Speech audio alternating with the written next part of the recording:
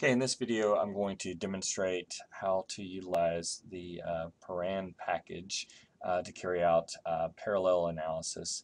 Uh, this package is a user-written package for uh, Stata and um, basically a discussion of that package you can see it appearing in this in the Stata journal uh, from 2009 volume 9 number 2 pages 291 to 298. So what I'm going to do in this particular video is just demonstrate how to install and, and to uh, utilize some of the functions associated with this. Um, so basically the data set, uh, you can see right here I've already imported data, uh, basically represents individuals' responses to a set of items from the International Personality Item Pool and more specifically uh, they come from uh, several subscales from the CAT personality disorder scales. Uh, the subscales, the items include affective lability, anger, uh, anxiousness, uh, depressiveness, grandiosity, and health anxiety.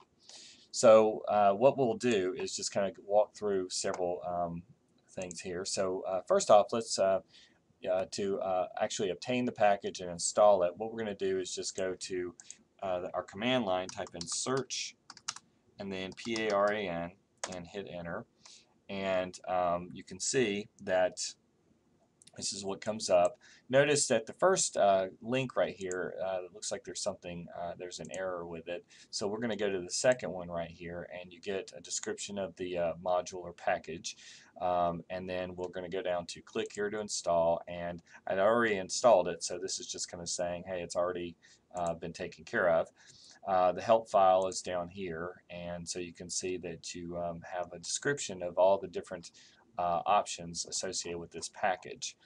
Um, obviously, if you um, need help later on, you can just type in help, P-A-R-A-N, and hit enter, and there you go. So um, now let's start off with um, demonstrating the use of parallel analysis. And what I'm going to do is actually just use uh, this syntax right here for starters. So what I'll do is I'm just going to type in uh, in the command line P-A-R-A-N uh, and then I'm going to type in Q1 to Q49 and you'll notice over here uh, basically the Q1 to Q49 uh, that saves me the hassle of just typing in Q1, Q2, Q3 all the way up to Q49.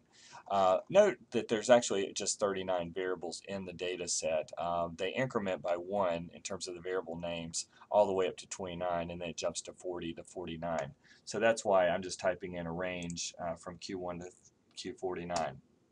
Then we'll type in comma, and then you can see um, uh, I'm going to type in iter you know uh, ITER for iterations 100. Um, this is essentially referring to the number of um, random correlation matrices uh, to generate uh, for the analysis. So um, I could have this at 100 or 500. Um, you know, it just depends on your you know your preference and, and what you, what do you what you want to do. Uh, next, I'm going to type in quietly, and this suppresses a lot of the um, factor analytic uh, output that we don't really want uh, in this particular demonstration. And then graph, and then all. And by clicking on all or typing in all, essentially what it's going to do is give me all of the eigenvalues uh, from the component solution, not just a subset. So I'll show you the difference shortly.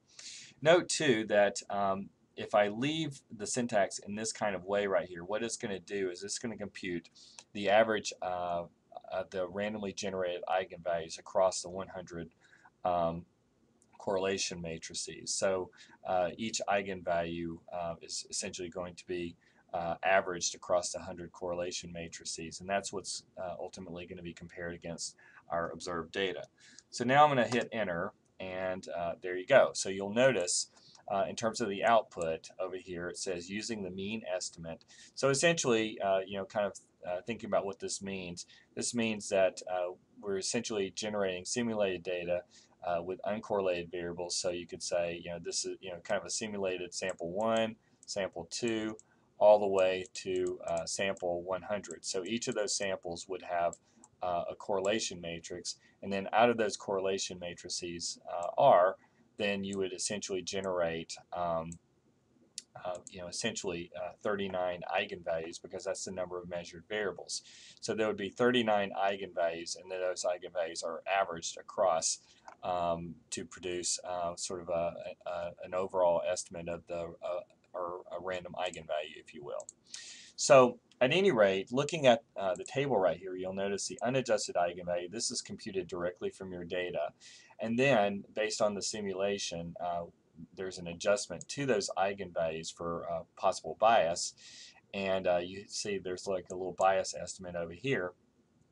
And then, um, you know, using uh, essentially um, um uh, the eigenvalue cutoff rule applied to the adjusted eigenvalues, you can see that uh, based on that, um, we would be uh, retaining essentially uh, five factors um, because essentially the idea is that what you're looking for are eigenvalues that are greater than 1. So it's basically the Kaiser criterion applied to um, our, um, our, uh, uh, our adjusted eigenvalues um, so you can notice down here it says criterion retain adjusted components with eigenvalues greater than 1. So these are the adjusted components with those eigenvalues greater than 1. The remaining um, eigenvalues uh, are all falling below 1 and so these you know so that would suggest the presence of a five component solution or the need to adopt a, a five component solution. Um, note too that uh, you, you just saw it, but basically when I hit more, this um, came up. You can, I kind of had to kind of spread it out a little bit and, and make it larger to see everything. But uh, essentially what you have is a plot of the observed eigenvalues against the number of components. Then you also have a plot of the adjusted eigenvalues and then the randomly generated eigenvalues. So you can see right here, uh, you know, this is the um, uh, observed eigenvalue. Uh, this is the um, adjusted eigenvalue for component 1. So, that, so you can see there's a little bit of a difference there uh, where you have that adjustment for bias. Then this is for uh, component 2 and then for component uh, 3 and, and onward. So notice uh, also that uh, as you're looking at it you can see the observed, the, the dash line um, is referring to the observed eigenvalues uh, the uh, the straight line without any dashes is uh, for the for the adjusted eigenvalues, and then you can see the dotted line is capturing the randomly generated eigenvalues. So you can see that the observed and adjusted eigenvalues really correspond, um, uh, uh, you know, pretty closely in many instances. So you know, looking at this particular um, um, graph right here, you can see, you know, here are the randomly generated eigenvalues and you can see that um, we're going to compare those against the observed eigenvalues. So you can see again it's a little uh, hard to see but you can see the dashed lines and so essentially the, the basic idea is you would retain uh, those components with observed eigenvalues that are as long as they are exceeding those that are generated at random. So you can see right here for component 1 uh, it's clearly above component 2, component 3, 4, and 5 right here um, you know, uh, the observed eigenvalues all the way up to this point um, are exceeding those that are generated at random. But then you can uh, see uh, that when we move into uh, component 6, that um, our observed uh, and um, random eigenvalues, basically the observed eigenvalues actually start to fall below those that are generated at random. So at this point, this is where we would um, essentially make the cut. So essentially, from this point onward, uh, we essentially are going to cut and we would adopt then the five component solution. Another way of looking at it too, uh, because it's going to correspond with those adjusted eigenvalues, uh, at the point at which uh, our adjusted eigenvalue uh, falls below 1, which you can see is represented by um, the little uh, open circles, uh, at that point you would make the cut as well and that's what's represented uh, in uh, the table that we just saw so that's um, you know so that's this point right here where the adjusted eigenvalue falls to 0.96 okay so let's look at it again. In this in this case uh, let's see what happens if we don't include uh, uh, the all statement. So I'm just gonna actually copy and paste that in without all and hit it. And so you can see in this particular case, we still end up with the same graph, uh, but now you can see um, in this particular case there was another simulation. And in this particular case, it actually suggests uh, a six component solution. You have to keep in mind that um, you know we're, we're simulating, and so you can have still some sampling error across uh, those simulations, and so um, in this case, the uh, observed, uh, the adjusted eigenvalue actually suggested a six point or six component solution. So you do have to keep in mind that you know when you're uh, going through and looking at uh, these options. I think there's a seed uh, option in here where you can re, you know, basically reproduce. Yeah, right here, seed number, uh, so that you can reproduce the previous um, uh, analysis um, using uh, that particular seed number. So at any rate, uh, there you go. So this this is what you get instead of all of this right here.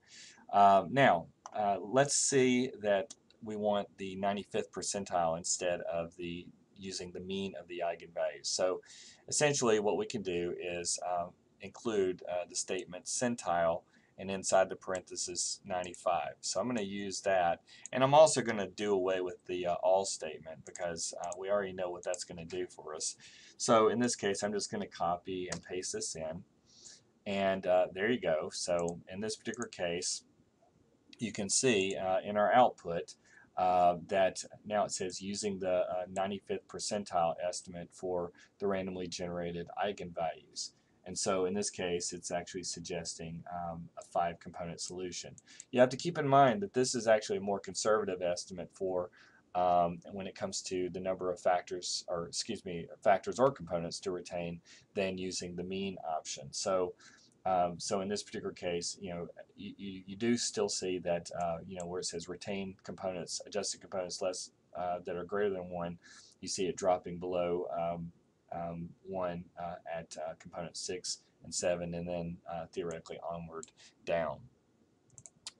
Okay, so that is uh, a brief demonstration using principal components analysis. Let's say we want to use uh, iterated principal axis factor analysis.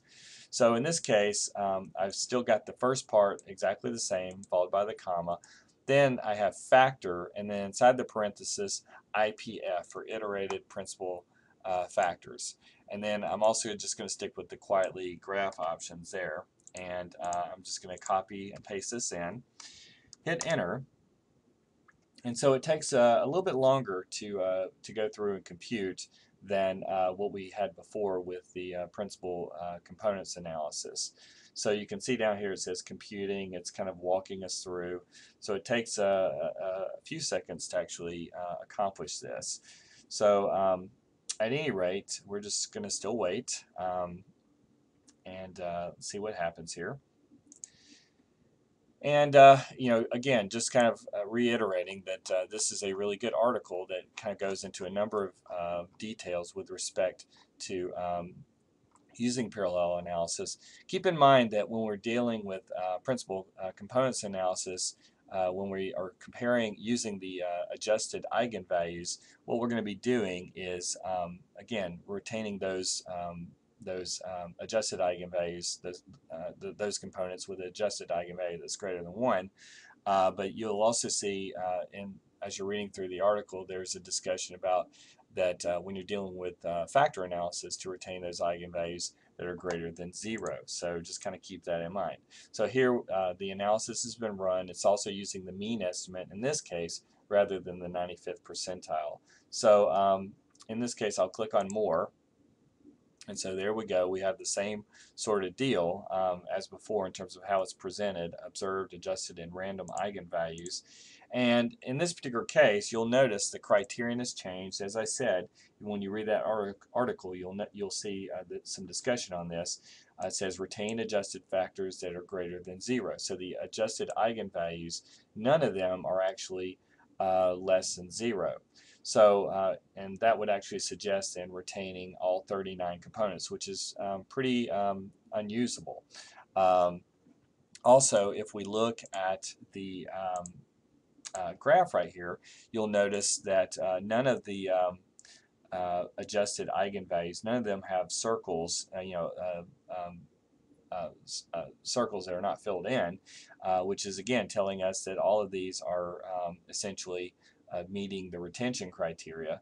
Uh, you'll notice too that when we have the uh, dash line uh, right here uh, plotted against the random eigenvalues right here, you'll notice that uh, none of the randomly generated eigenvalues uh, uh, fall you know, end up exceeding the observed eigenvalue. So essentially that's suggesting then retaining a 39 factor solution, which makes no sense. And so, and that's one of the, the, the, possible downsides uh, that I've seen when it comes to uh, you know using uh, parallel analysis with uh, the actual factor uh, analysis solution is that you can end up with this kind of problem.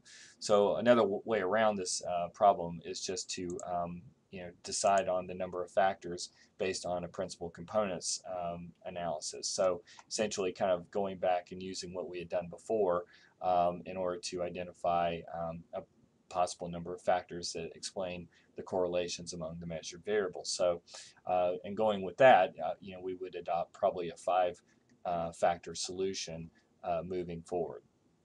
So uh, that pretty well concludes this uh, demonstration. There are other, you know, aspects associated with the program. Like I said, there are various other technical details that you can read about in the article or going into the uh, help option in, um, in uh, Stata.